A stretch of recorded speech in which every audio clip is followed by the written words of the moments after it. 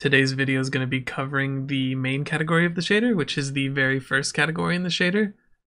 If you have any questions about this video or anything in the shader at all, please direct them to the Discord server. There's a link in the description below. Alright, let's get started. So the very first thing in the shader is color and alpha. And it does exactly what it says. It changes the color and the alpha. So because we're using the cutout shader, it all it can really do is cut out little holes in it. It can't really make it transparent. So you're gonna get dithering is what this is called. And if you wanted a smoother transition to transparency, you would use the transparent shader. So I'm gonna set this to 50%-ish and then just leave it there. Next up we have the main texture, which is basically the main color for your model. It's the texture that gets overlaid on the model. So we have this sort of grid right here, and you can adjust that by clicking this little circle, and you can pick any texture you want. We're just going to leave this one. And if you hit this little triangle, it actually pulls out a menu, a drop-down menu.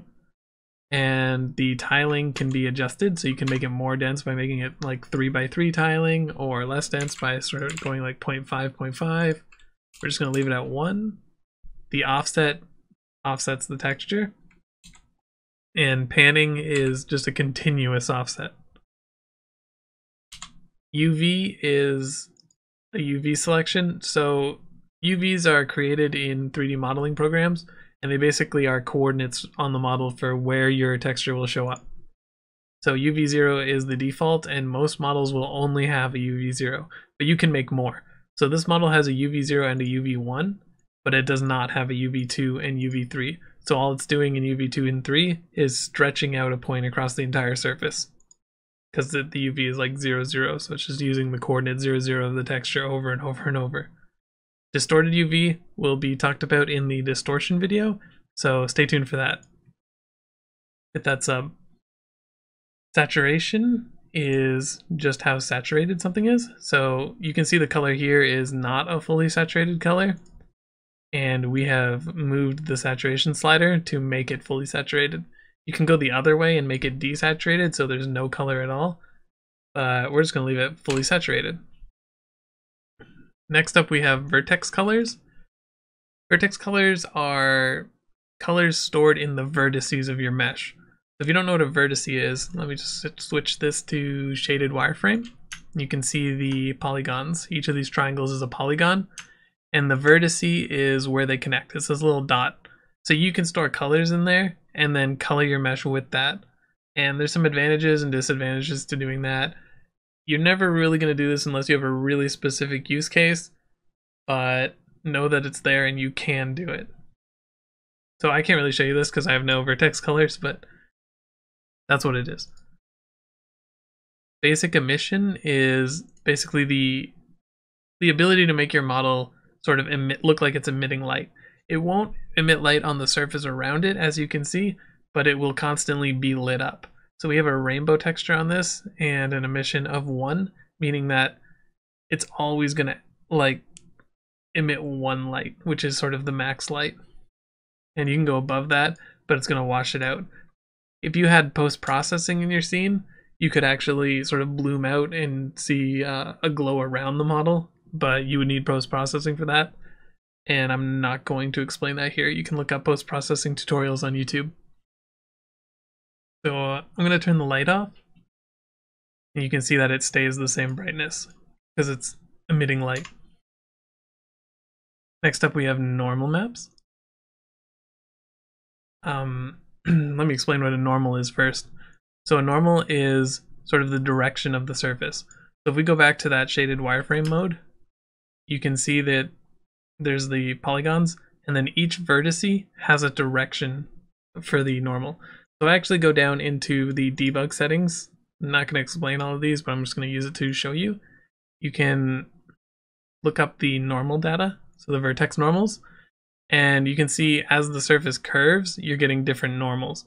So these colors are representing just like directions because a color is an RG and B value that can also store a three dimensional direction.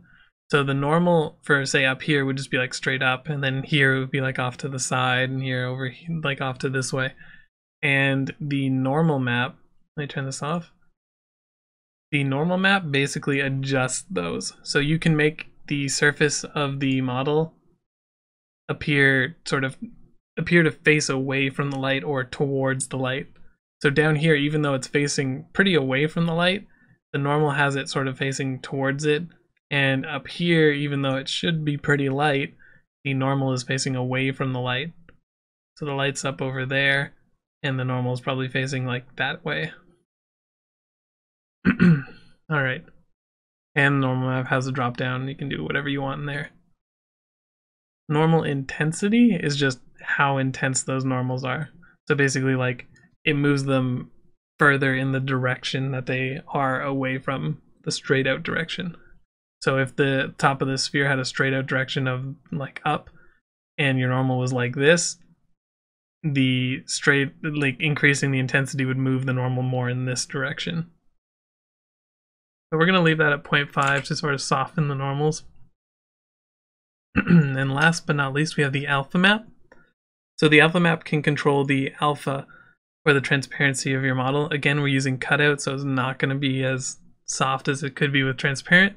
You should try to use cutout when you can, and you can actually do some stuff to make this look really good. I'll cover that in the alpha options video, so hold tight for that. And you can do the same thing you can do with everything else. I got the wrong material selected. So you can like tile it more or less and pan it and do stuff like that. And then that will give you transparency in the black area and be fully opaque in the white area. I can actually pull up this texture and you can see that there's sort of black lines and that's where the mesh is transparent and the white areas is where it's fully opaque. And you can do this with the main texture as well. If your main texture has transparency, it will become transparent. And that really just comes down to how you want to work. You can have a main texture with a lot of detail and transparency and all that, or you can separate it into having only colors in the main texture and then transparency in your alpha map.